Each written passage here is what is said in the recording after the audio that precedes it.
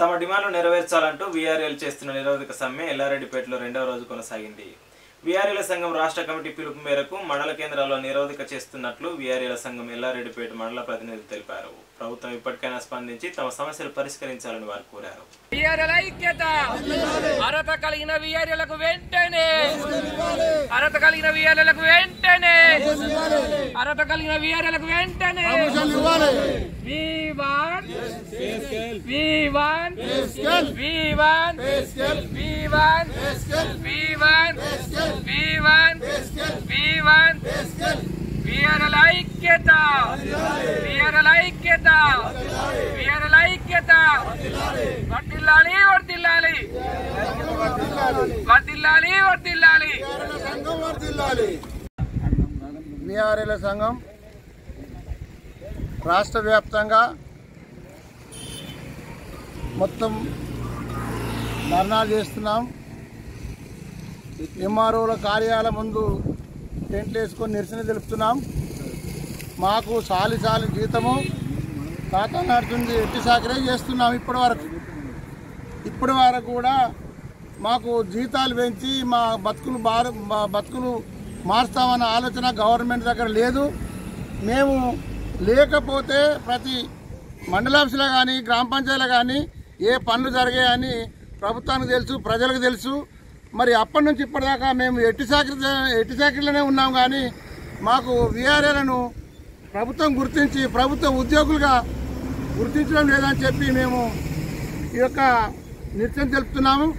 మాకు వెంటనే విఆర్ఏలకు జీతం పెంచి విఆర్ఏలకు అర్హులైన వారికి ఉద్యోగాలకు గుర్తించి మరి పే స్కేల్ కూడా వెంటనే జారీ చేసి మాకు ఇరవై ఐదు వేల జీతం మరి మాకు ప్రకటించాలని చెప్పి మన తెలంగాణ ప్రభుత్వాన్ని మేము చేతులెత్తి నమస్కరిస్తున్నాం. మేము ఎప్పుడు కూడా తెలంగాణ వచ్చినప్పుడు నుంచి కూడా ముఖ్యమంత్రి గారు చెప్పిన మాటల మీద మేము ఎప్పటి నుంచి కూడా ఆయన మాట మీద నమ్ముకొని ఉన్నాము. ఇప్పటి వరకు కూడా మా మీద గుర్తింపు లేదు. మరి మాకన్నా వెనుక ఉన్న వాళ్ళు ఆశా వర్గాలు కానీ మరి హోంగార్డులు కానీ మరి ఎంతోమంది మా వెనక వచ్చిన వాళ్ళకు ఇరవై వేలు ఇరవై ఐదు వేలు మరి మొన్న కూడా